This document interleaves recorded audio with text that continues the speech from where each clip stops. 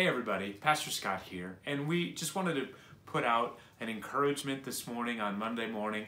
Uh, following yesterday's message, I really appreciated uh, the, the one statement that I heard Scott tell us to write down, and that's that each one of us, uh, I wrote it down here, each one of us is to have faith, and then each one of us is to help another person or other people to have immovable faith. And that's, that's just a great reminder for us today. So I want to encourage you today to be asking the Lord to, to stir up the gift of faith in your heart, and then that you'd be praying about and asking God to clarify who is that person today, this week, that you can be calling on the phone, that you can be setting up a time to talk to them, to ask them really personal and good questions, asking them, How are you doing in your relationship with Jesus? Let's, let's do it this week. That might be a hard conversation, but let's ask another person how they're doing in their walk with Jesus. And let's also ask the Lord to stir up the gift of faith within us. Uh, there's a couple other announcements that I want to bring to your attention, things that we really want you to be considering in your personal life.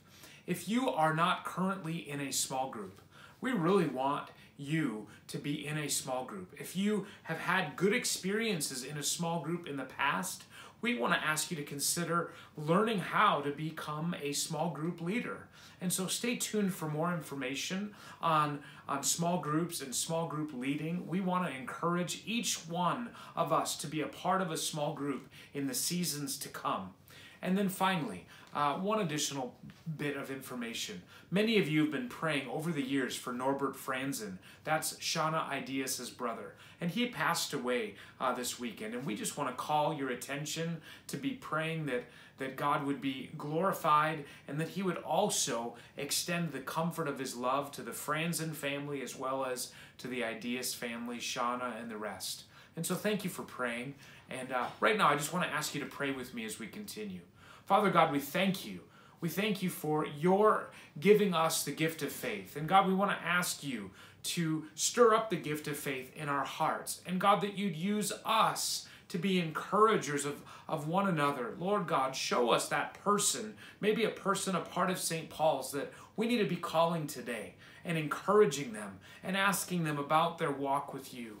And Lord God, use us this day, use us this season. God, strengthen the body of Christ at St. Paul's. And I pray, Lord, that you would mobilize us into growing healthy small groups. And Father, we do finally pray for Shauna Ideas and the rest of Norbert Franzen's uh, family. God, we thank you for the two of them as siblings. And we pray, God, that you'd comfort each one with your love. We give you thanks today and we praise you now.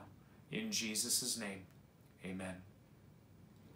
Amen. Well, God bless your week and we'll look forward to seeing you and talking with you soon as we continue to worship as one body of Christ here in Gifford at St. Paul's, both online worshipers, worshipers that are coming Saturday nights at 6 p.m., and then the, those that are coming on Sunday mornings for Sunday school at 8:45 and our worship service at 10.